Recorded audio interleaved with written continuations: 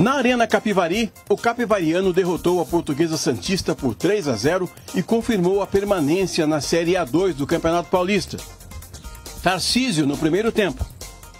Tiaguinho e Baianinho na etapa final marcaram os gols do triunfo da equipe de Capivari.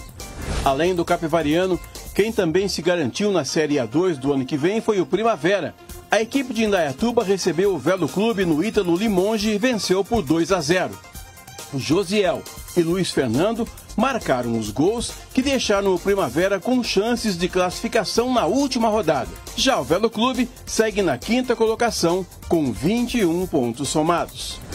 No estádio Augusto Schmidt, Rio Claro e São Bento protagonizaram um jogo de seis gols.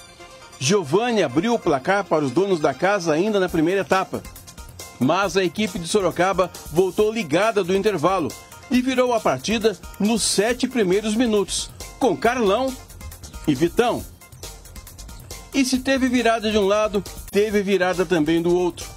Eric Luiz e Peixoto marcaram para o Rio Claro, deixando o Galo mais uma vez na frente do placar. Mesmo com um a menos, o São Bento conseguiu chegar ao empate com Rafael Rezende já nos acréscimos. Com este resultado, o Rio Claro desperdiça a oportunidade de entrar na zona de classificação.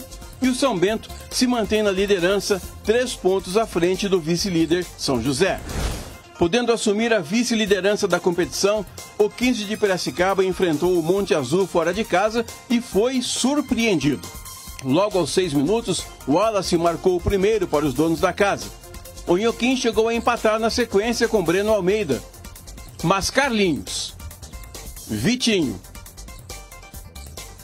e Wallace colocaram o Monte Azul em extrema vantagem no estádio Otacília Patrício Arroio Anthony ainda chegou a diminuir para o 15, mas nada que alterasse o triunfo do já rebaixado Monte Azul.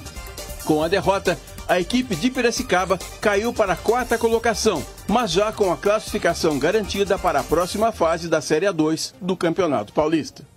É, agora é juntar os cacos dessa partida, que ela sirva de lição, né? Porque uhum. nós vamos entrar numa fase aí que se você não tiver o equilíbrio que vinha tendo até essa partida agora, a concentração que você vinha tendo, de repente você entra na outra fase só para participar.